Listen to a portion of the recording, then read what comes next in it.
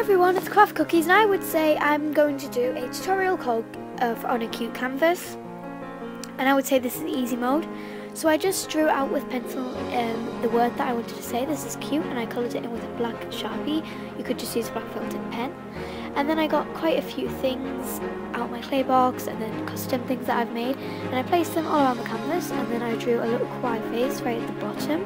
As you can see I'm drawing the eyes right now. Once again this is going to be a easy mode tutorial. Um, yeah, so all the thing everywhere where I got things will be in the description box. I drew a bow but I forgot to film that bit. I'm just using the um, Bostik all-purpose extra strong glue and thanks for watching goodbye